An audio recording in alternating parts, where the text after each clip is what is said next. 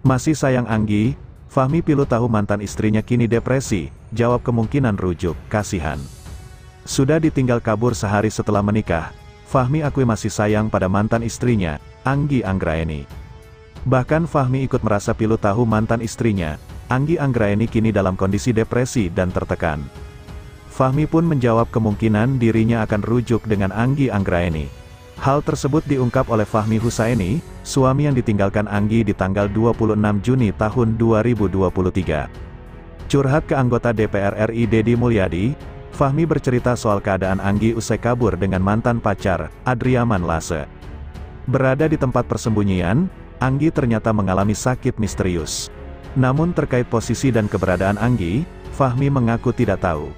Anggi enggak di rumah, di rumah saudara atau di mana, enggak tahu, disembunyikan dulu karena banyak yang nyari, ungkap Fahmi dikutip tribunnewsbogor.com dari YouTube Kang Dedi Mulyadi, Jumat, tanggal 14 Juli tahun 2023. Mendengar cerita Fahmi, Kang Dedi penasaran, terlebih Fahmi mengaku iba melihat kondisi mantan istrinya yang menyedihkan. Dapat kabar kondisi dia, Anggi, juga lagi sakit, pungkas Fahmi. Lagi sakit mengalami depresi dan tertekan kan bisa aja, ujar Kang Dedi. Saya juga kasihan melihatnya, akui Fahmi, heran dengan rasa kasihan yang dirasakan Fahmi, Kang Dedi pun bertanya-tanya. Apakah Fahmi masih berniat rujuk atau kembali lagi ke pelukan Anggi? Kang Dedi pun bertanya soal kemungkinan Anggi meminta maaf dan ingin balik lagi. Mendengar pertanyaan Kang Dedi, Fahmi bijak, sebagai manusia kan kita harus bisa merasakan, kalau saya ada di posisi dia pasti juga sakit. Pemuda asal desa Mekarsari, kecamatan Rancabungur itu pun bertetap hati enggan rujuk dengan Anggi. Apa pun yang terjadi, Fahmi ogah jadi suami Anggi. Kamu kasihan, kan kamu udah disakiti, tanya Kang Dedi. Kalau saya sih enggak apa-apa, ikhlas, ungkap Fahmi.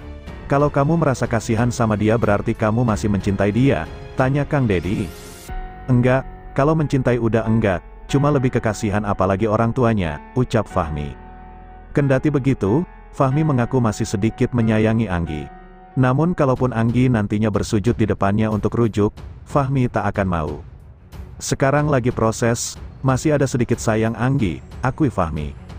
Kalau tiba-tiba dia menyatakan penyesalan, kalau dia kembali bersama, kamu gimana? Tanya Kang Dedi. Saya tolak, karena saya terlanjur kecewa, apalagi sama keluarga, pungkas Fahmi.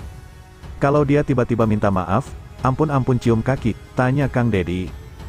Hanya memaafkan saja, tapi kalau kembali ke pernikahan tidak mau, imbu Fahmi. Tak hanya Anggi, orang tuanya pun kini menderita akibat ulahnya yang kabur demi mantan pacar. Menurut Fahmi perubahan dari keluarga Anggi tersebut lantaran merasa malu. Sehingga pihak keluarga